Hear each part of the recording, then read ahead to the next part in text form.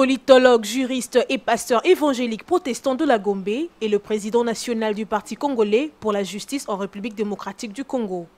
Les députés élus de Okatanga, auteur de plusieurs ouvrages tels que l'accord de Lusaka, Théodore Ilunga Wansenga a été formé par la Banque centrale du Congo en Belgique dans le domaine de la planification et de l'organisation. Après avoir passé plusieurs années à l'extérieur du pays, il se présente encore une deuxième fois aux élections présidentielles dont il est venu déposer sa candidature à la CENI le 8 août dernier. Il se lance ainsi dans la conquête du pouvoir parmi une vingtaine de candidats, mais son idéologie fait sa particularité. Théodore Ngoy Ilunga nous en dit encore plus. l'élection présidentielle consiste protéger les territoires,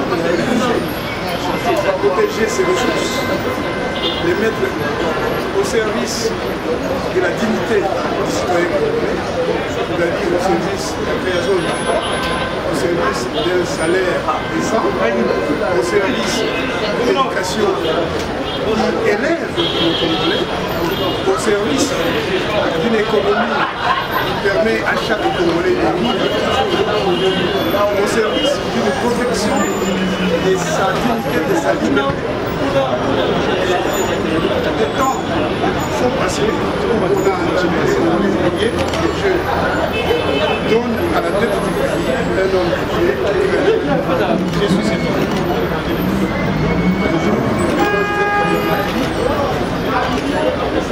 qu'on est est